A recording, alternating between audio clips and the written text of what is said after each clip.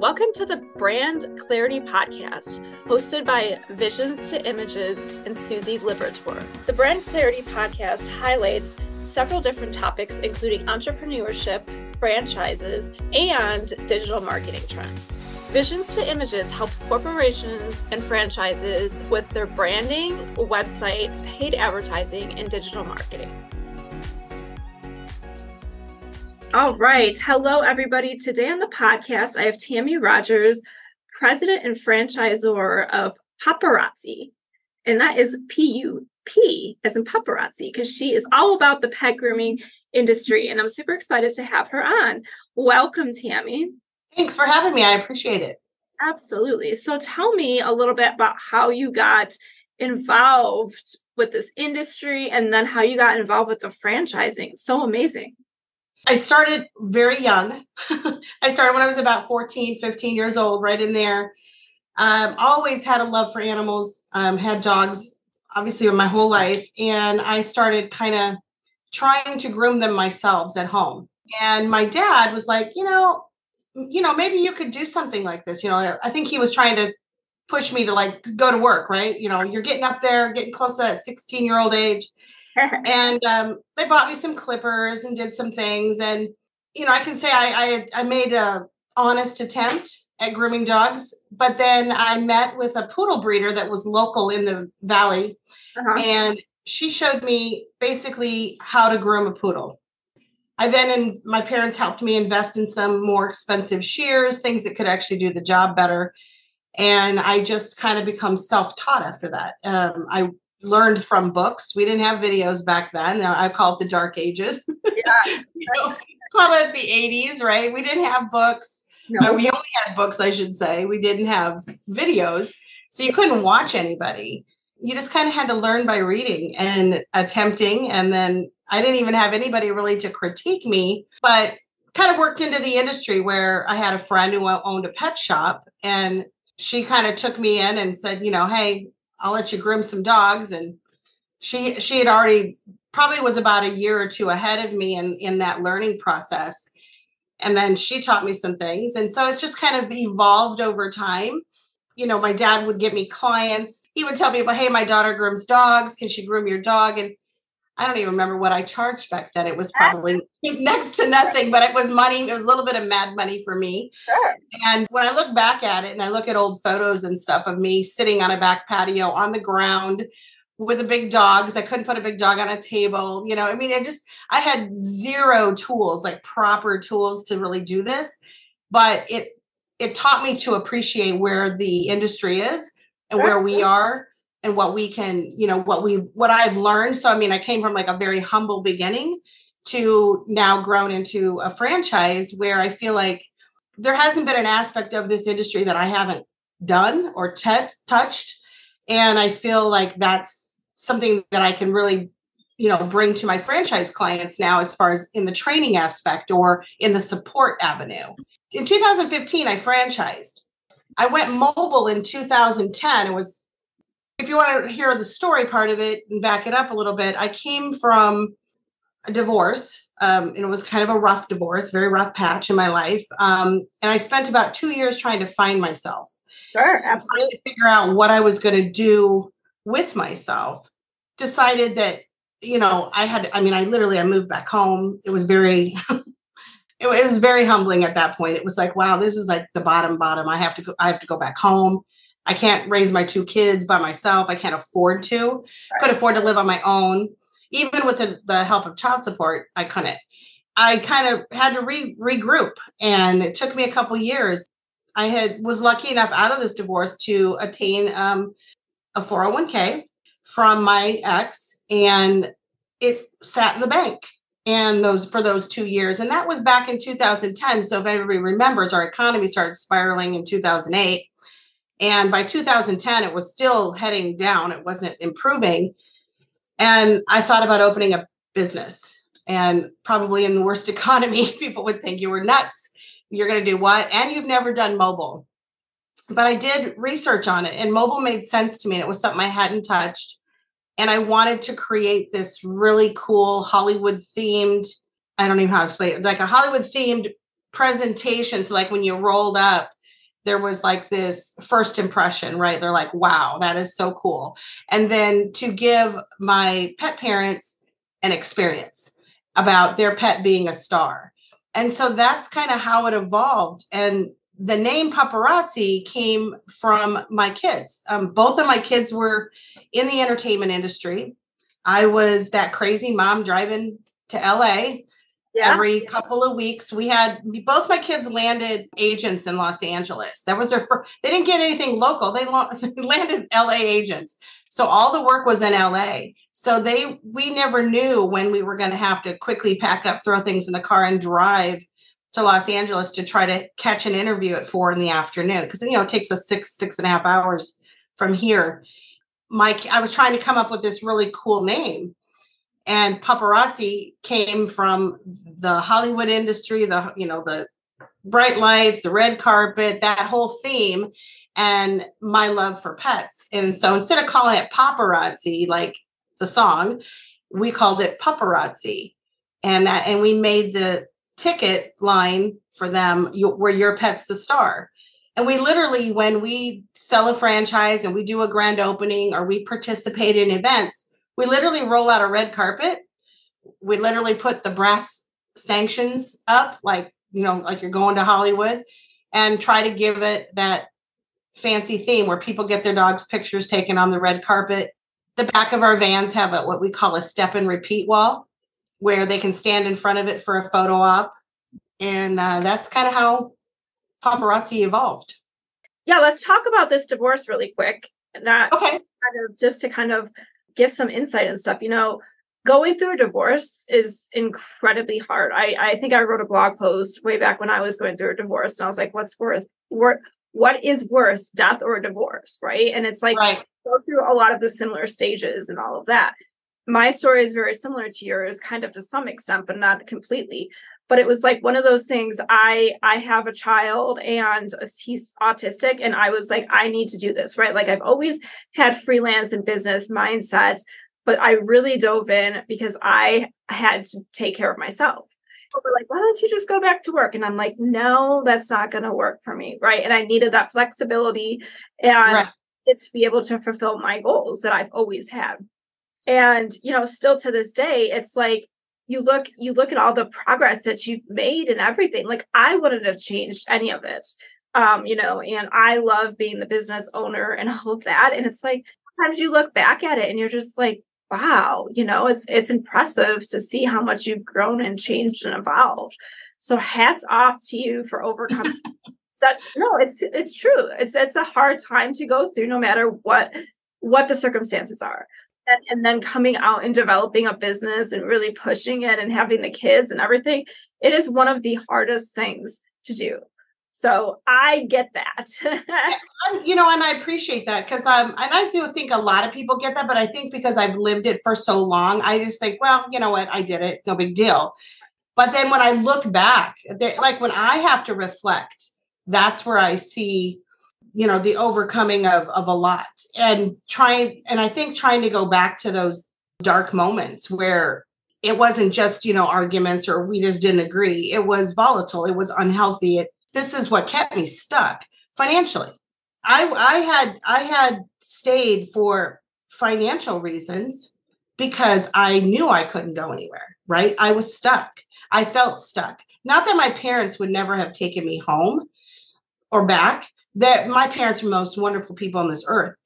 But I didn't want to do that again because my first divorce, which was to the kids' father, was a good it was a it was an amicable situation. It was more my decision. Then that decision came with later down the road was was that the right decision, right? Should I have hung in there? Whatever, you know, should I have done more to work on the relationship or did I just take that quick, easy exit strategy? So mm-hmm. I was bound and determined that with this second marriage, I was going to stay.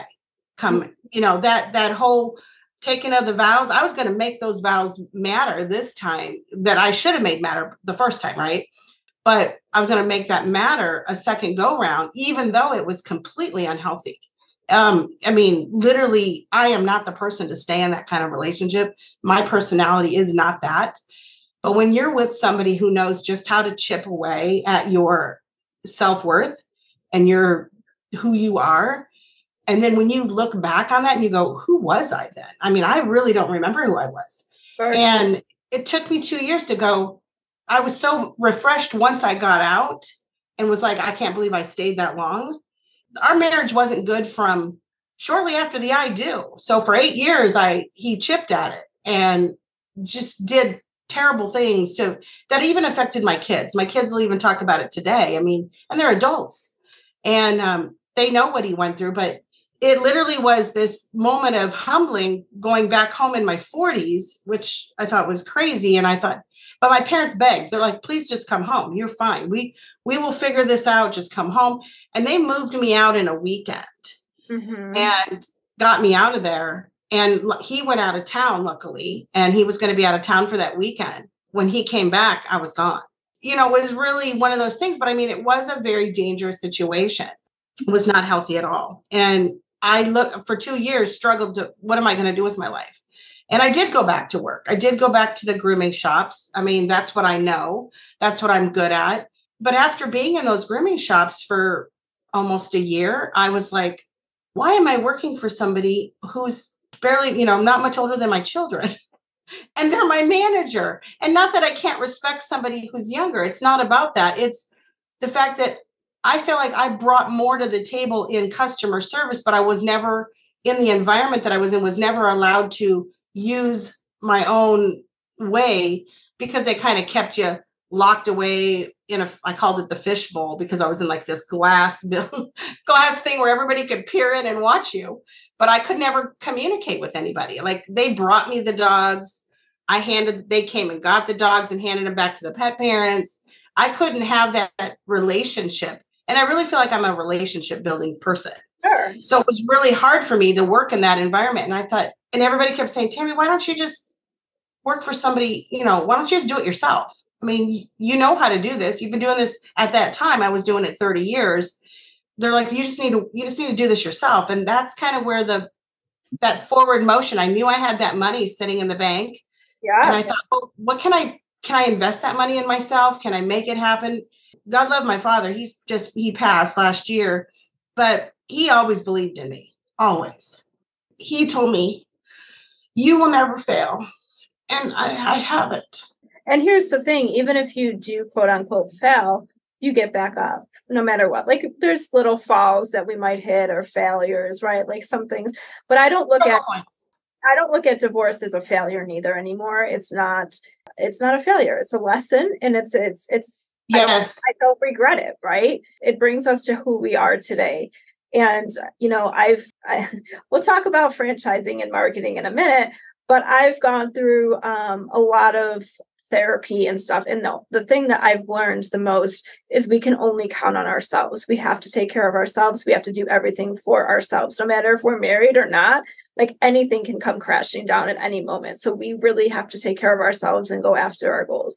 And that's women, because women, I feel like, are missing and lacking in those areas because there's this stereotype that we have to rely on men and we can't do things and all of that. Like that's a whole nother topic in itself. Right.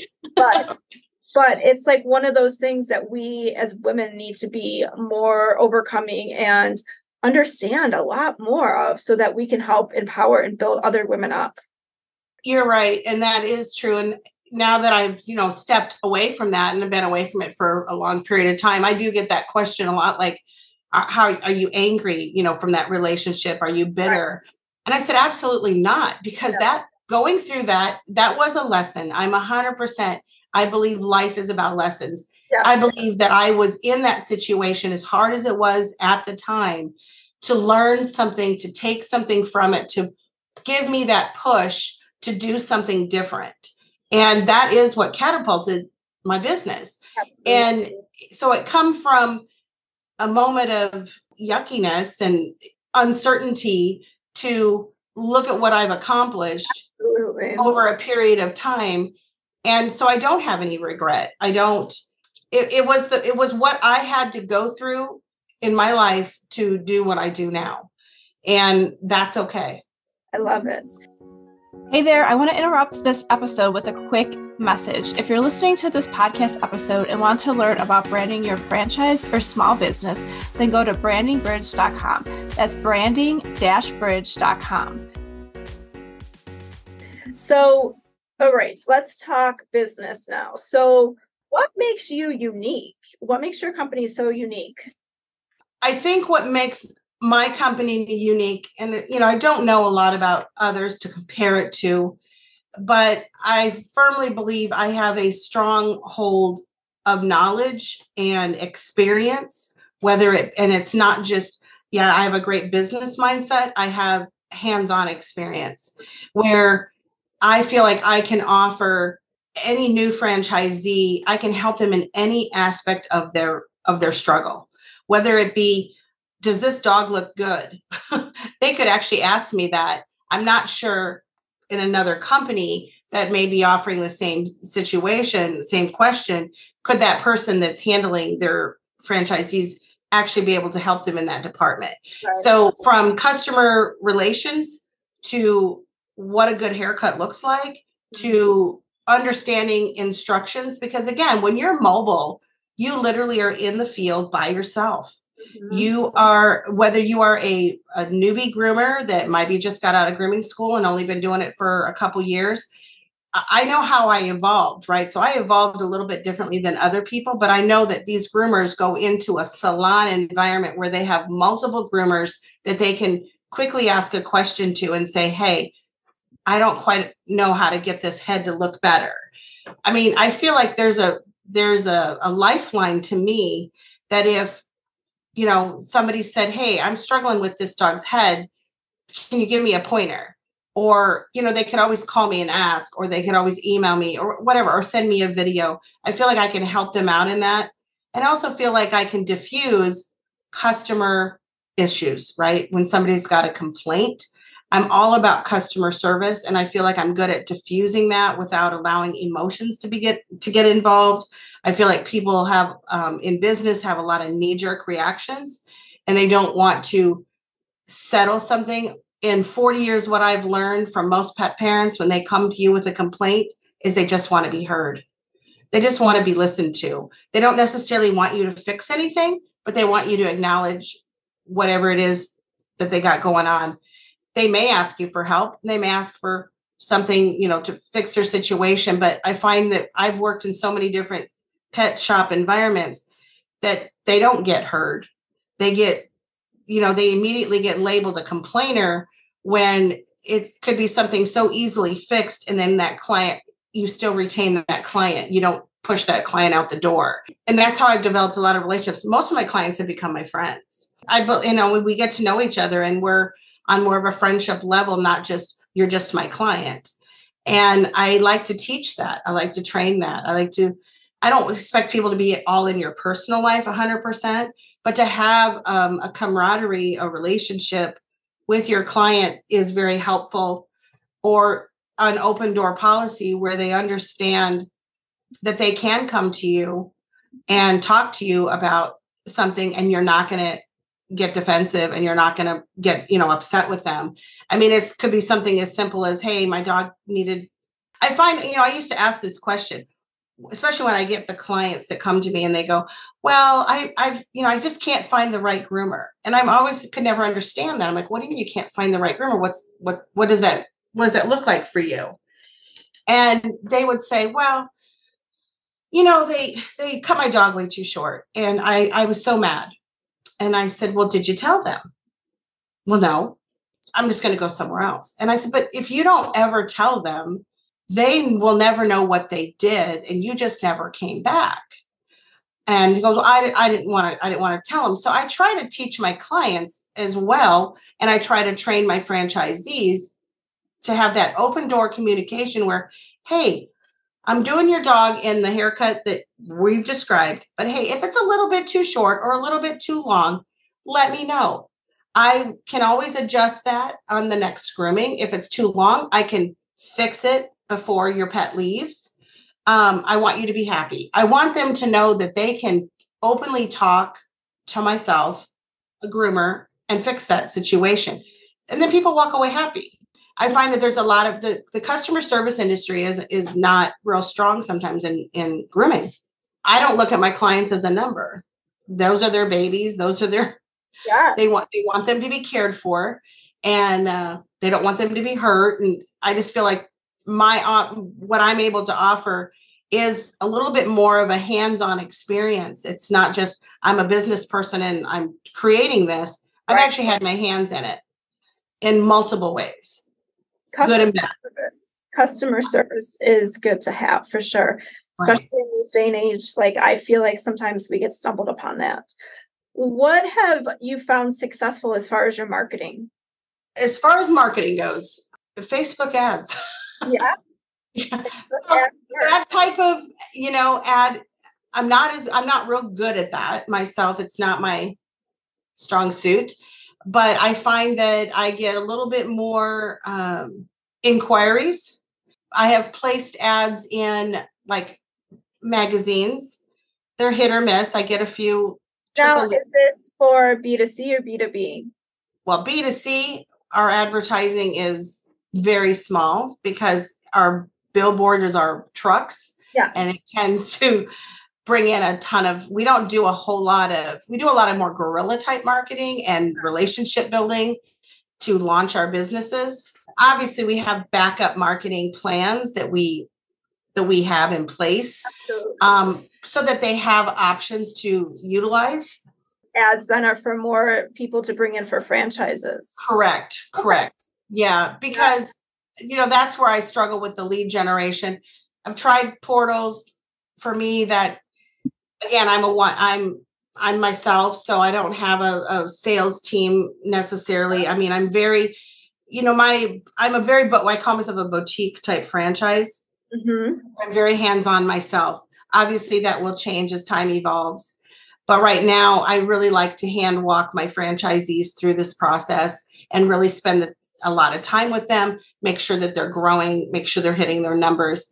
And they and I get to offer that in the early stages. Obviously, when I get older, things will have to change. I probably have to hire people to have to help me in that department. But same thing with sales but right now i i have to kind of manage it myself so the business to business is i do a lot of that more or less internet type marketing yeah. yep you have to for sure just to keep you know it in front of a, a variety of people that i would never meet from all over from wherever you choose to target market that, those are kind of a, a thing i think work best for me magazines they can be pricey but i don't think i've ever gotten a lead out of a magazine ad sure well, I, magazines are are something. I mean, they're good and bad, but if you're reaching an audience in a different way, it's not going to be beneficial. Like I can see like home like advisor people, you know, like remodeling people, they can do really good because their their profit margins are also way higher, right? And so they right. They can afford that kind of thing and reach the homes that like go into like when it goes into their homes in direct mail or magazines that go in like that like that is when it can work good for those types of people right um, Whereas if it's just a magazine sitting out somewhere, it's not really going to get as much traction. Even even if it's an online magazine too, if they say, "Oh, well, you're going to do ads on you uh, for online," it's not always the best, right? And so there's that fine line of figuring out what is going to work for you and your company, and that's that's what makes marketing so unique, is because not everything is the same for everybody.